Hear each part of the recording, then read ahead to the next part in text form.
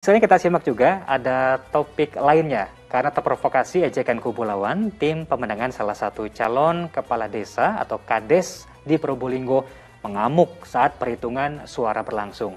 Bentrok dua kubu pendukung calon kepala desa nyaris terjadi.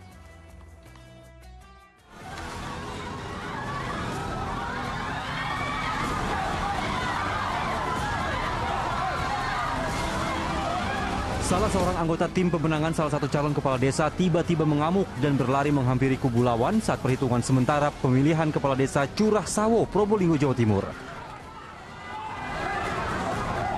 Insiden yang terekam video amatir itu membuat suasana perhitungan suara menjadi ricuh.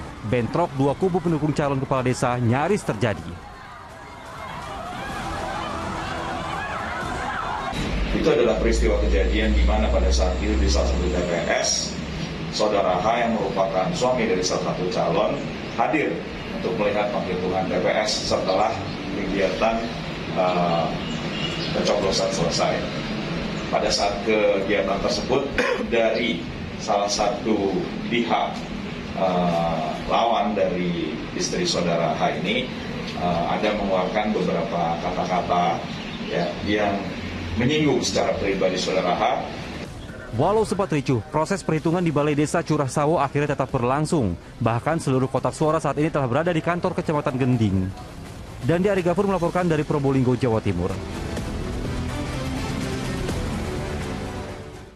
Ya, harusnya dalam kompetisi kita sudah sadar dari awal bahwa nanti akan ada pihak yang menang dan juga pihak yang kalah.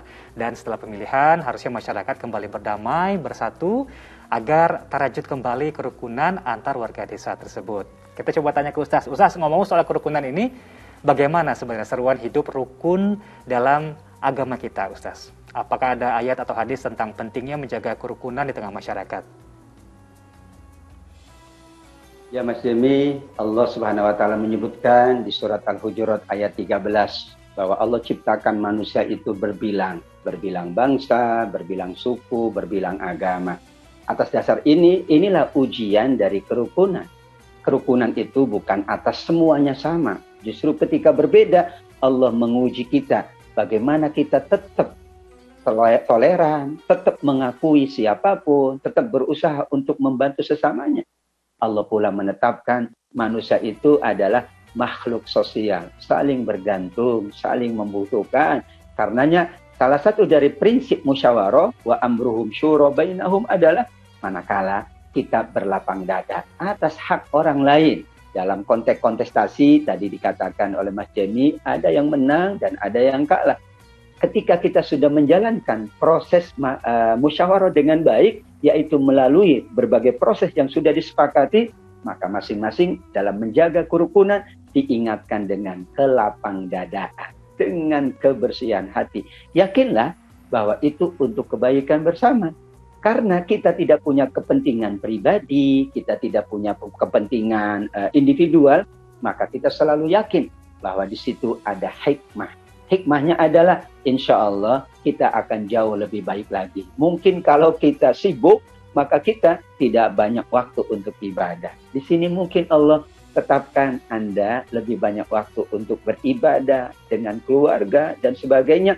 Kita selalu mengambil hikmah dari proses musyawarah Fa'idha azamta fatawakal ala Allah. Di antara kerukunan itu pula apabila seseorang sudah mendapatkan haknya, maka yang lain pun harus membantu agar proses musyawarah berjalan dengan baik dalam rangka memberikan kebaikan kepada sesama dalam rangka masing-masing menolong saudaranya wa ta'awanu 'alal birri wat taqwa tanpa proses ta'awun saling menolong, saling membantu maka tidak terjadi keharmonian atau kerukunan. Sebagai contoh antara suami istri, itu kan saling membantu, saling melengkapi.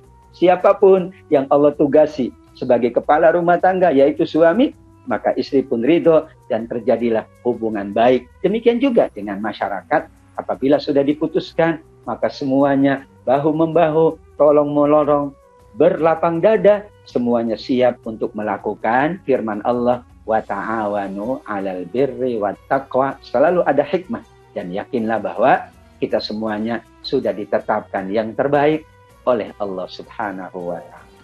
Baik, kalau tadi uh, contoh dari hablu minallah, hablu minanas antara sesama, kita lengkapi dengan hablu minal alam gitu Ustaz.